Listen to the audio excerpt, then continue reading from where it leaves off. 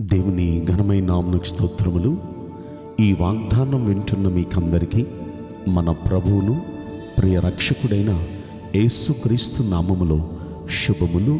మా హృదయపూర్వకమైన వందనములు తెలియచేస్తున్నాం ఈరోజు దేవుని వాగ్దానం యశాగ్రంథం అరవై రెండవ అధ్యాయము ఎనిమిదవ వచనం. నిశ్చయముగా ఎక్కను నీ ధాన్యమును నీ శత్రువులకు ఆహారముగా నేను ఇయ్యను. విన్న ఈ వాగ్దానం మంచి దేవుడు మనందరి వెనుకడిలో నెరవేర్చునుగాక. ఆమెన్. ప్రియ దైవ జనాంగమా ఇంతవరకు మన ధాన్యం అంటే మన రాబడి పరుల పాలైపోయిందేమో హాస్పిటల్ పాలైపోయిందేమో వడ్డీలు పాలైపోయిందేమో ఇక రకరకాలుగా రకరకాలుగా రకరకాలుగా మన రాబడి వెళ్ళిపోతూ వచ్చిందేమో. కానీ ఈ వాగ్దానం వింటున్న క్షణం మొదలుకొని ప్రభు మనతో అంటున్న మాట చూడండి. ఖచ్చితంగా నిశ్చయంగా అంటే ఖచ్చితంగా. ఇక మీ ధాన్యము అంటే మీ రాబడి మీ శత్రువులకు ఆహారంగా నేను ఇయ్యను అంటున్నాడండి. అలాగా అలా వెళ్ళనివ్వడు. అయితే అలా వెళ్ళకుండా ఉండాలంటే మనం ఏం చేయాలి? మనం ఏం చేయాలి? రెండు పనులు చేయాలి. ఒకటి ఏంటంటే నూట ఇరవై ఎనిమిదవ కీర్తనలో మనం పరిశీలిస్తే నూట ఇరవై ఎనిమిదో కీర్తన మొదటి వచ్చంలో మనం చూస్తాం యహోవా యందు భయభక్తులు కలిగి ఆయన త్రోవల యందు నడుచువారందరూ ధన్యులు. అంటే ఆయనకు భయపడుతూ భక్తి చేయాలి. ఎవరైతే దేవునికి భయపడుతూ భక్తి చేస్తారో వారికి దేవుడిచ్చే ప్రతిఫలం ఏంటో చెప్పన? రెండో వచనం అంటాడు నిశ్చయముగా ఖచ్చితంగా నీవు నీ చేతుల కష్టార్జితమును అనుభవిస్తావు. నీ కష్టార్జితాన్ని నీవే అనుభవిస్తావు కానీ పరుల పారు కాదు. పరులకు దేవుడు అప్పగించడు నీ కష్టార్జితాన్ని నువ్వే అనుభవిస్తావు నీ కష్టార్జితాన్ని. నీకు ఖచ్చితంగా నువ్వు ఆనందిస్తావు. నీ కష్టార్జితాన్ని నువ్వు శుభ్రంగా అనుభవించి నువ్వు నీ కుటుంబం ఇంకా కొంత రాబడి దాచుకొని నువ్వు వర్ధిల్లతావు. అయితే అలా మన కష్టార్జితం మనమే అనుభవించాలంటే మనం ఆయనకు భయపడుతూ భక్తి చేసేవారిగా ఉండాలి. చాలామందికి దేవుని భయం ఉంటుంది. అలాంటి భయం ఉన్నవాళ్ళు భయంగా ఉంటారు దేవునికి కానీ భక్తి చేయరు శ్రద్ధగా. కొంతమంది శ్రద్ధగా భక్తి చేసేవారు ఉంటారు కానీ వారికి దేవుని భయం ఉండదు. అంటే ఈనాడు భక్తి చేసేవారిలో ఇది ఉంటే అది ఉండదు అది ఉంటే ఇది ఉండదు. భయం ఉంటే భక్తి ఉండదు భక్తి ఉంటే భయం ఉండదు అందుకేనేమో ముప్పై నాలుగో కీర్తనలో భక్తుడైన దావీదు ఒక మాట అంటాడు. యహోవా భక్తులారా ఆయన ఎందు భయభక్తులు ఉంచండి అని. అంటే భక్తి ఒకటి ఉంటే చాలదు భక్తులారా ఆయన ఎందు భయభక్తులు ఉంచండి. ముప్పై నాలుగు తొమ్మిదిలో ఆ మాట మనం చూస్తాం. కనుక ఆయనకు భయపడుతూ భక్తి చేస్తూ ఉంటే ఖచ్చితంగా కింద అంటాడు సింహపు పిల్లలు లేమి గలవై ఆకలి గొనను యహోవాను ఆశ్రయించు వారికి ఏ మేలు కుదవనదు అంటే సింహం అంటే అడవికి రాజు సింహం. ఆ రాజ బిడలకైనా లోటు ఉంటుందేమో కానీ ఎవరైతే దేవునికి భయపడుతూ భక్తి చేస్తారో వారికి ఏ కొదువ ఉండదు ఏ కొదువ ఉండదు. ఇక్కడ అదే అంటాడు. ఆయనకి భయపడుతూ భక్తి చేస్తే నిశ్చయంగా ఖచ్చితంగా నీ చేతుల కష్టార్జితాన్ని నీవే అనుభవిస్తావు నీవే అనుభవిస్తావు పరులు కాదు.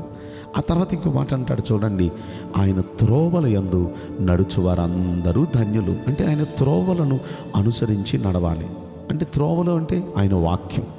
ఆయన వాక్యాన్ని అనుసరించి నడిస్తే ఖచ్చితంగా మన జీవితంలో మన కష్టార్జితం మనం అనుభవిస్తాం. పరులు కాదు. చూడండి ఆ మాట మలాఖీ గ్రంథంలో మూడవ అధ్యాయంలో పదవచనంలో ఈ మాట అంటాడు. అదేంటంటే ఒక మాట చెప్పి చెప్పి చెప్పి ఇక లాస్ట్లో దానిలో ఒక మాట అంటాడు. అదేంటంటే నీవు ఆ విధంగా దీన్ని చేసి అంటే నేను చెప్పిన ఈ పని చేసి నన్ను శోధిస్తే అయ్యా మీరు చెప్పినట్టు చేస్తున్నానయ్యా మీ మాట ప్రకారం జీవిస్తున్నానయ్యా అని చేతులు పైకెత్తి నన్ను ప్రార్థిస్తే నన్ను శోధిస్తే శోధించడం అంటే ఆయన్ని ప్రార్థించడం. ఈ విధంగా నేను చెప్పినట్టుగా చేసి అయ్యా మీరు చెప్పినట్టు చేస్తున్నాను చేస్తున్నానయ్యా అని ప్రార్థన చేస్తే అప్పుడు నేను ఆకాశపు వాకిండ్లు విప్పి పట్టజాలనంత విస్తారంగా మిమ్మల్ని దీవిస్తాను దీవెనలు మీ మీద కృమ్మరిస్తాను అని గొప్ప దేవుడు చెప్తున్నాడండి. గొప్ప దేవుడు అంటున్నాడు పట్టజాలనంత విస్తారంగా దీవెనలు కృమ్మరిస్తాను ఇప్పుడు ఇంకేమంటున్నాడు చూడండి పదకొండు వచ్చంలో మీరు నేను చెప్పినట్లుగా చేస్తే చెప్పినట్లుగా చేసి ప్రార్థిస్తే నేను ఏం చేస్తాను తెలుసా? మీ పంటను తినివేయి పురుగులను నేను గద్దించేదను. ఇక అవి మీ భూమి పంటను నాశనం చేయవు. పంట పండుతుంది కానీ పురుగులు తినేస్తున్నాయి. అవే హాస్పిటల్స్కి అయిపోవటం వడ్డీలకు అయిపోవటం ఇక రకరకాల దారులు సంపాదిస్తున్నాం కానీ సంపాదన మిగలటం లేదు. మళ్ళీ అప్పులే కనిపిస్తున్నాయి. అలా అయిపోవటానికి గల కారణం పంట పండుతుంది కానీ పురుగులు తినేస్తున్నాయి. ఆ పురుగులను గద్దిస్తాడు. ఇక అవి మీ పంట తినవు.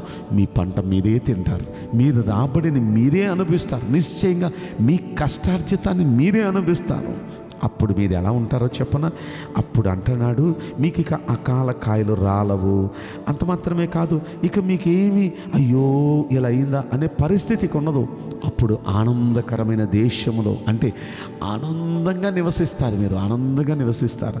అన్యజనులు అనేక మంది మిమ్మల్ని చూచి మీరు ధన్యులమ్మా మీరు ధన్యులయ్యా అంటారు మిమ్మల్ని చూచి. ఎంత అద్భుతమైన మాట ఎంత అద్భుతమైన మాట. ఇలా మన జీవితంలో జరగాలంటే దేవుని సన్నిధిలో రెండు పనులు మనం చేయాలి. ఒకటి ఆయనకు భయపడుతూ భక్తి చేయాలి. రెండోది ఆయన వాక్యాన్ని అనుసరించి నడవాలి. ఈ రెండు పనులు చేస్తే ఖచ్చితంగా మన కష్టార్జితం మనమే అనుభవిస్తాం. అన్యులు కాదు శత్రువులు కాదు. కాబట్టి ఈరోజు ఈ వాగ్దానం వింటున్న మీ అందరూ మీ కష్టార్జితం మీరే అనుభవించుదురుగాక. మీ కష్టార్జితం మీకే సొత్తు సొంతం అగునుగాక. మీకోసం నేను ప్రార్థన చేయబోతున్నాను. పరిశుద్ధుడా ప్రేమగల రాజా మీ పరిశుద్ధ బంగారు పవిత్రమైన నామ్మునకు నిండు మనసుతో కోట్ల కొలదిగా స్థుతులు స్తోత్రములు వందనాలు చెల్లిస్తున్నాం. ఈ వాగ్దానం వింటున్న ప్రియుల జీవితంలో దయచేసి ఈ వాగ్దానం నెరవేర్చి కృప చూపించండి.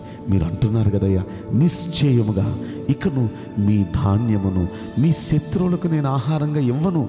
మీరే నిశ్చయంగా మీ కష్టార్జితాన్ని అనుభవిస్తారంటున్నారు.